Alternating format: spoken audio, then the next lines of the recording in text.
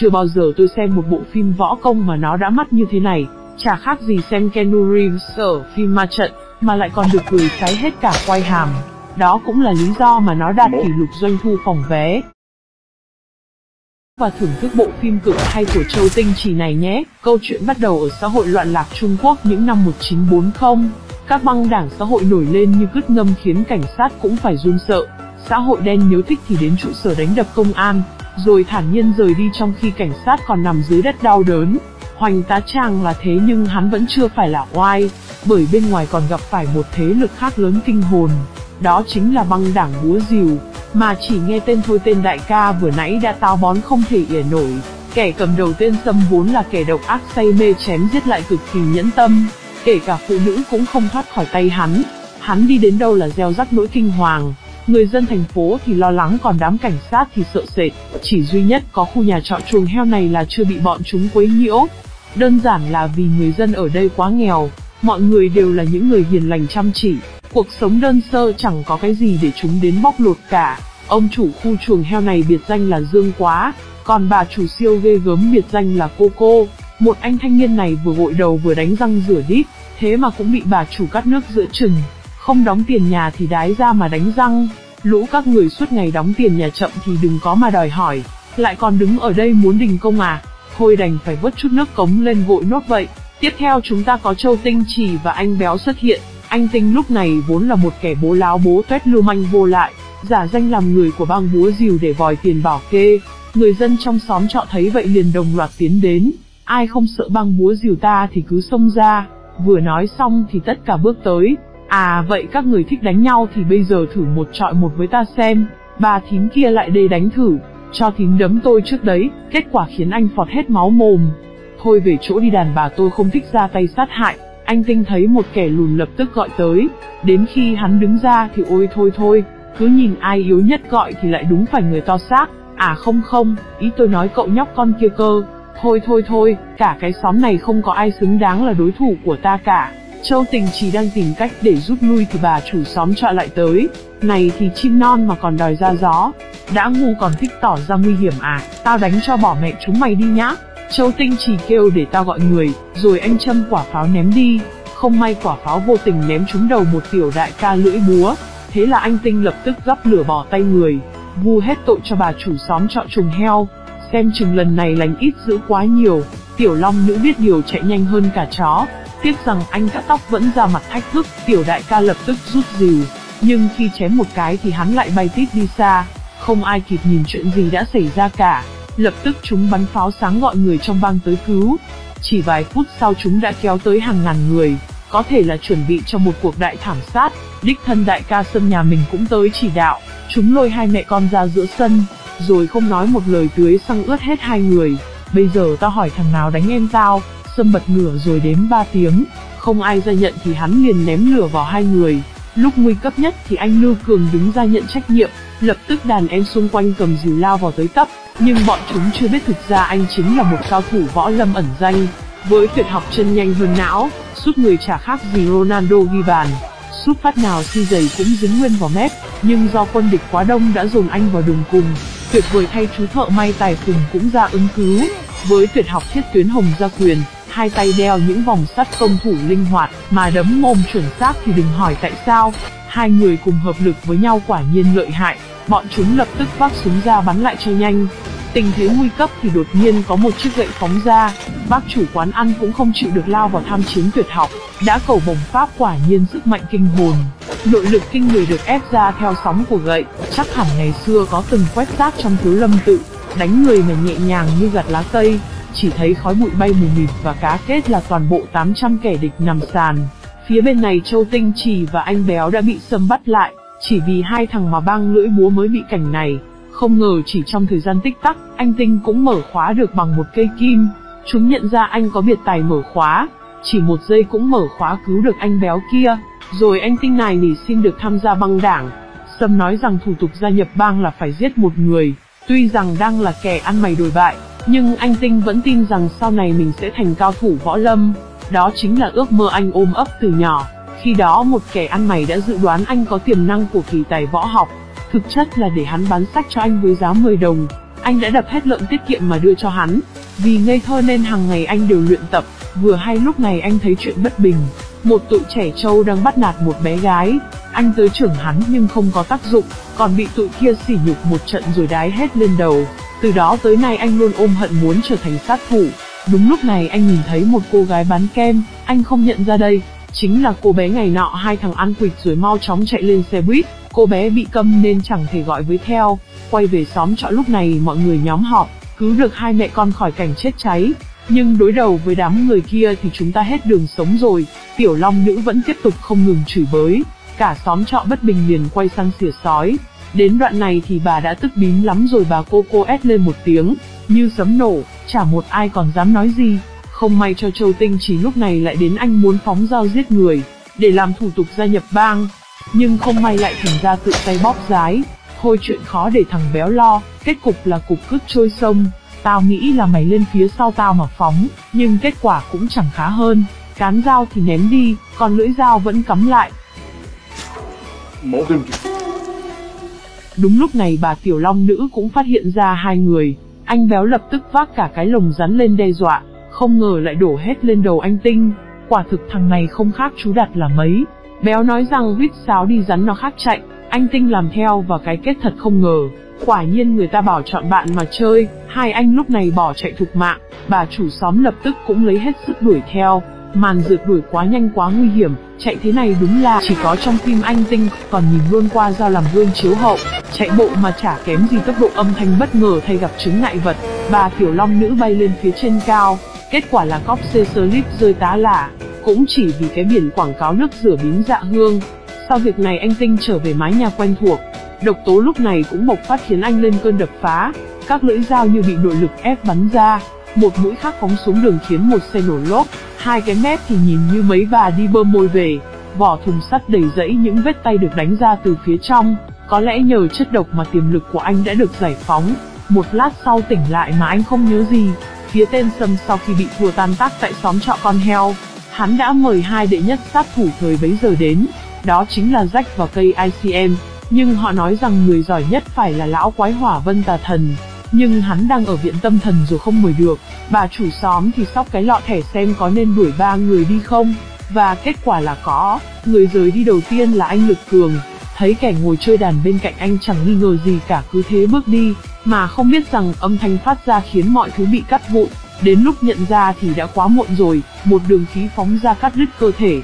Ông chủ tiệm may ở nhà thì sát thủ thứ hai cũng đến thăm. Một trưởng đánh ra bất ngờ, rất may là chú vẫn đỡ được. Bóp rú long trảo thủ nó là sở trường, nhưng cải tiến thêm bộ móng vuốt so với bản gốc, nên có vẻ cũng lợi hai hơn đôi vài phần. Hai người đánh ra tới ngoài sân thì sát thủ ICM cũng đang phê đàn. Rách biết vậy chỉ cần đứng bên cạnh mà thôi. Khi ICM vận nội công gảy vào dây thép, những tia khí phóng ra sắc lẹm cắt đứt mọi thứ xung quanh. Phát gảy thứ hai như một lưỡi đao phá tan vòng sắt của chú thợ may này. Chú thợ may vội núp vào khối đá lăn, rồi vận công ném về phía chúng. Không ngờ hắn gảy cả bàn phá cái cối tan tành. Phát gảy cuối cùng thì chú ấy không còn gì che chắn khiến chú gục ngã. Phát tiếp theo e rằng chú sẽ coi đời. Đúng lúc nguy cấp thì tài cùng cầm cây giáo cứu trợ. Jack và ICM lúc này hợp tác với nhau, nhưng từng lưỡi đao khí phóng tới đều bị tài cùng đánh bật, giống như chú đang chơi một bài nhạc tử thần. Mà chỉ sai một nốt cũng sẽ là mất mạng, chú quyết định lấy công làm thủ. Chú đá ba mũi giáo phía trước còn mình theo sau, tưởng chừng lần này sẽ hạ được chúng. Nhưng như vậy là vẫn chưa đủ, nội công của hai sát thủ quả thực cao thâm đến mức kinh người. Dường như chú đã không còn sức lực nào nữa. Sát thủ nhân cơ hội kết liễu thì chú thợ may nhảy ra đỡ cho. Vì âm thanh chói tai khiến bà chủ xóm trọ bực tức. Đúng lúc chúng gảy phát kết liễu thì một tiếng hét vang lên. Đám đao khí bay đi và dây đàn cũng đứt. Hai sát thủ chả hiểu chuyện gì, mà Dương quá bám vào vai lúc nào cũng không biết. Hai thằng lập tức đánh nhưng Dương quá dùng thái cực quyền chống đỡ, mượn lực mà trả lực, cảm giác như anh đang chơi đùa với hai bé trẻ con vậy. Bà chủ xóm mang hai chú vào nhà, chú thợ may thương nặng nên cũng đã chết, trong khi này bên ngoài hai sát thủ cũng đã bị ném đi xa, chúng mau chóng nối lại dây đàn, để phản công bằng tất cả những gì mình có, tạo ra những lưỡi đao tử thần. Tiểu Long nữ lúc này vận công dùng chiêu sư tử hống, khiến tử khí kia tan tác bị gió cuốn đi, hai sát thủ cũng trở thành tàn phế. Tâm và quản lý đang ngồi trên xe nhưng không kịp chạy, đã bị ông bà chủ xóm lên xe ngồi cùng, dọa cho một trận sợ vãi cả đái, đi được một đoạn rồi vẫn còn run cầm cập, châm lửa cho đại ca không nổi khiến cháy cả đầu, lại còn lấy rượu dập lửa nó mới khốn nạn, vì sự an toàn của mọi người. Ông bà chủ xóm cầu xin mọi người tạm thời rời khỏi, quay lại phía Châu Tinh chỉ cùng anh bạn, tại sao chúng ta lại nhát gan đến mức thế này? Anh Tinh thể phải quyết tâm độc ác một lần mới được, anh can đảm xông ra cướp tiền của cô gái bán kem, nhưng kết cục cũng chỉ có vài đồng bạc lẻ. Cô gái câm ra cử chỉ nói rằng em chính là cô bé ngày xưa anh cứu, cái kẹo mút cầu vồng là thứ cô vẫn giữ cho tới tận hôm nay. Anh Tinh sợ mình sẽ mủn lòng liền đập cái kẹo vỡ rồi bỏ chạy. Tôi chỉ muốn độc ác một lần thôi. Tại sao ông trời không cho tôi thỏa mãn cơ chứ? Vừa hay lúc này bang búa rìu cũng cho người tới đưa anh về trụ sở. Họ đã chấp nhận cho anh làm thành viên của bang búa rìu. Anh xâm giao cho anh một nhiệm vụ đầu tiên, đó chính là đến nhà giam cứu lão quái hỏa vân. Theo đúng bản đồ anh vào tới căn phòng cuối cùng, tự dưng anh cảm nhận được mở cánh cửa này máu sẽ chảy thành sông. Nhưng cái sĩ diện nó bắt anh phải hoàn thành nhiệm vụ, kỹ năng mở khóa được triển khai, nhanh chóng bắt gặp lão quái đang dặn ỉa, thành công mời được lão về tổng đàn chủ của Sâm.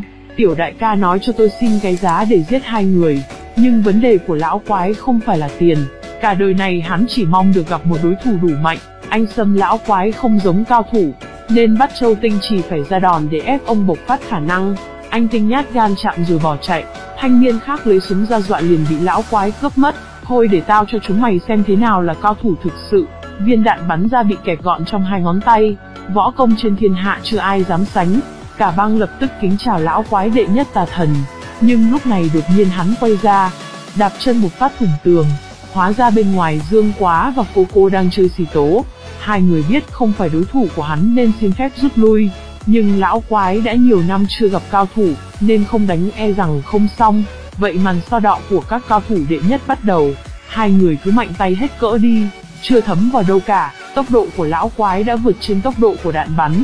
Hai cao thủ tuy đứng đầu võ lâm cũng chả là gì, cảnh giới thái cực quyền đỉnh cao cũng chưa thể so bì kịp. Tiểu Long nữ lấy hết sức vận công bộc phát chiêu thức sư tử hống, mọi thứ bay tung bướm nhưng lão quái chưa hề hấn gì. Võ công hắn dường như trên cơ hai người này nhiều bậc, hút mốt đánh cho hai người gần như không còn đường thở. Tiểu Long nữ muốn phá cái đít chuông để tạo thành cái loa phóng đại, mặc cho bị đánh cũng phải cố gắng vì đây là cơ hội cuối cùng. Rất may cuối cùng cũng đập thủng được cái đít, vừa hay lúc này cơ hội lại đến, bà hít một hơi từ bím đầu ngược lên trên, rồi dồn toàn bộ âm khí bộc phát qua cái chuông khiến âm hưởng tăng lên nhiều lần. Hút chốc cuốn phăng đi mọi thứ như một cuồng phong siêu cấp, lão quái thực sự không còn đứng dậy nổi. Khi hai người định ra đòn kết liễu thì hắn xin tha, nhưng thực tế là để hắn rút ám khí ra chơi trò bẩn thỉu. Hai người bị đâm vào bụng nhưng cùng hợp lực để khóa đòn hắn lại, cả ba người lúc này đều không thể nhúc nhích. Sâm ra lệnh cho Châu Tinh chỉ giết hai người kia, nhưng mà tại hắn cứ dục nhiều quá, dục với dã cái nồn à, làm thì không làm lại cứ thích dục với dã.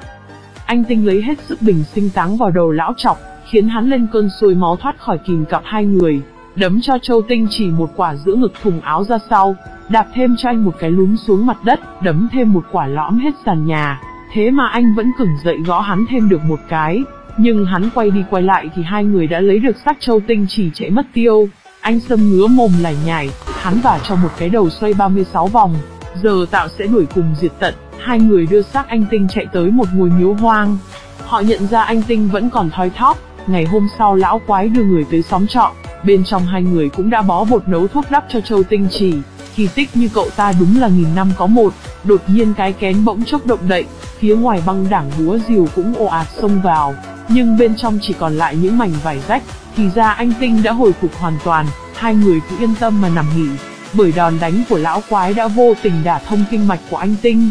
Quả nhiên đúng là một thiên tài võ học, phía bên ngoài đám người cũng bắt đầu xông tới. Tiếc rằng giờ đây anh đã là một siêu cao thủ, thời gian với anh dường như nó ngưng động khi đối thủ ra đòn.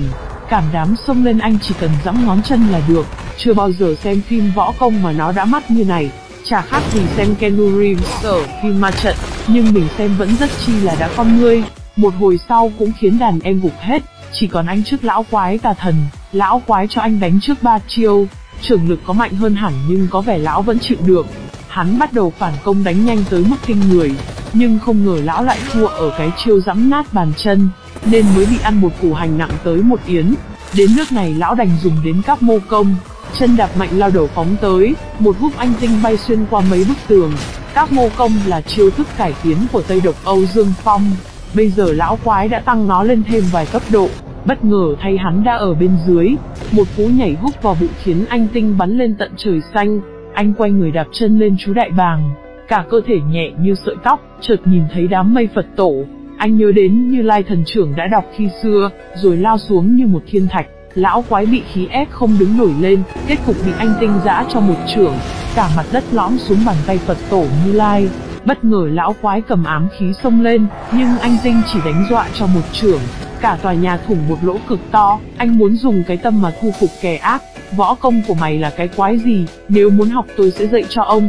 Lão quái liền chấp nhận bái anh làm sư phụ, cuối phim ông ăn mày khi xưa lại xuất hiện, gạ kèo bán bí kíp võ công cho một cậu bé thò lò mũi xanh, nhưng lần này số lượng còn nhiều hơn gấp bội. Cảm ơn các bạn đã xem hết bộ phim, xin chào và hẹn gặp lại.